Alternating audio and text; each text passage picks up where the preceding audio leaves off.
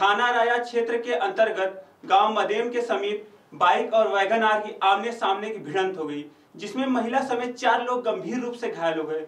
घटना की सूचना मिलते ही पुलिस मौके पर पहुँची और घायलों को अस्पताल उपचार के लिए पहुँचाया। बताया गया है कि राया की ओर से अपाची बाइक पर तीन लोग सवार थे, जो तेज गति से सादाबाद की ओर जा रहे थे। उसी दौरान गाँव मदेम के समीप सादाबाद की ओर से आ रही बाइक की आमने सामने भिड़ंत हो गई। हादसा इतना भयंकर था कि बाइक की टक्कर होते ही गाँव की सड़क पर जा रही महिला को भी रौन दिया गया। इस पूरे हादसे में चार लोग घायल हो गए। घटना की जानकारी होते पुलिस मौके पर पहुँच गई और घायलों को उपचार के लिए अस्पताल भिजवाया।